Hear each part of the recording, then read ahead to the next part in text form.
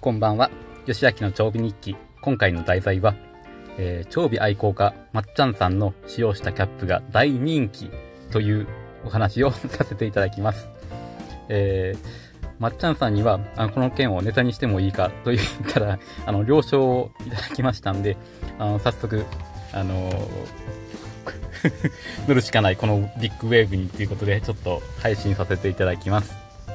えー、まっちゃんさんは、あの、金魚の日本一大会、静岡県金魚品評大会、ウェブ金魚品評会の金魚のまぶたさんで、あの、賞を、あの、受賞しまくっている調味の愛好家さんで、その、えー、ウェブ金魚品評会の、えー、金魚のまぶたさんの順位結果発表ライブっていうのがあるんですけど、その際に、あの、着用していたキャップを、えー、この度ヤフオクに出品されたという流れです。で、これが超大人気なんですね。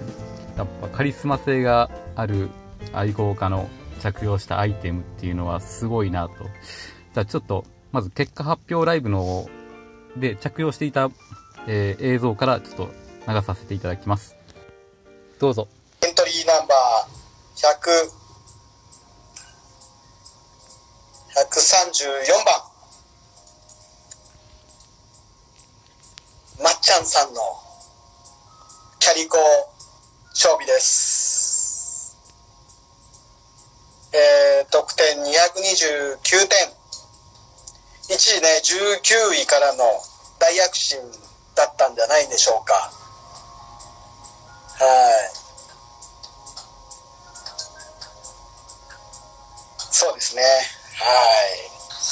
でね、どうでしょう？そう、松さん、こっちだったんですよ。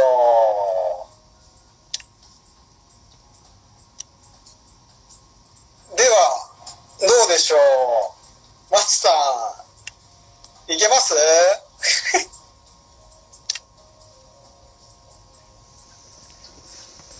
あのね、飼育者が出るというのが、作者が出るというのがね、キーマブライブラストのね。出た。ああ、これ何回見ても面白いですね。え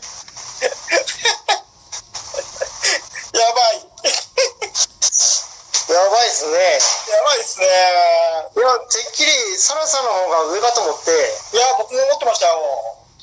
この仮装サラサにしてきたんやけど、ちょっと意味なくなっちゃったね。意味なくなっちゃうんだね。うん。どうしましょうね、ちょっとね。せっかくこのね、サラサ帽子、これ今日わざわざ買ってきてね。白黒帽子、赤白帽子ってやつですよね。そう。赤白帽子だ白白とサラサ？ああそれかはい。これ全部入っとるんやけどね。ちょっとこれダメやね。キャリコでしたね。はいキャリコでしたね。キャリキャリでいいんじゃないでしょうか。キャリでいきますか。うんいいですね。このライブで、えー、着用していた、えー、あの紅白帽ですねこれが今出品されていてすごい人気ということですね。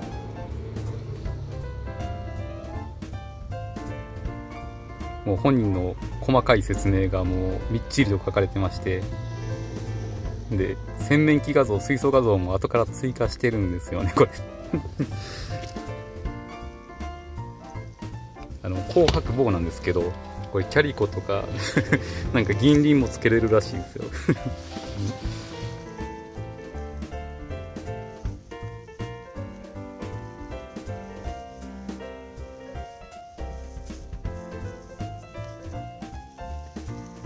この Yahoo! オークションへのリンクは貼っておきますんで。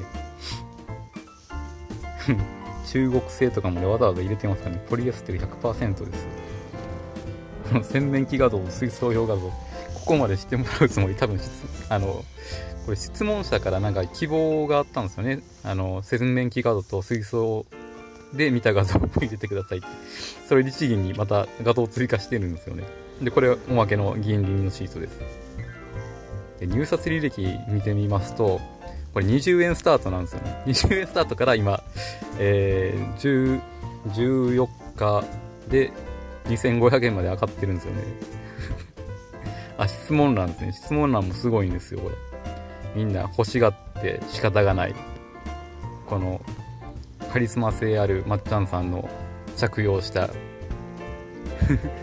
あの、紅白棒欲しくてたまらないもので、皆さんが大事と思うところを質問されてますね。これ、自分、あの、自分も質問してます、これ。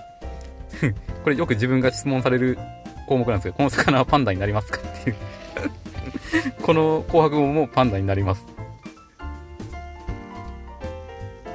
あ、これですね、洗面器に入れた時の画像も追加してもらえないでしょうか。もう律儀に ちゃんと追加してます。選びを病気の経歴が、もう、全部経験してるらしいです あ、まっちゃんさんのサインですね。これまともな質問ですよね。サイン書いていただけるそうですよ。装着時の写真は、あの、この動画で あの、あの、載せてましたね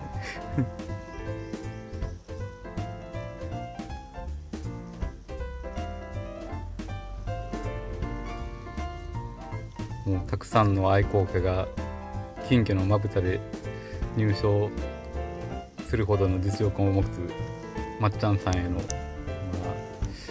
あ、リスペクトですよねこれはもう。であんまり面白いんで自分ツイッターでもあの投稿したんですよ。この時で21人のオッチリストで。もうグッテリさんとかもう これは面白すぎるだろうと。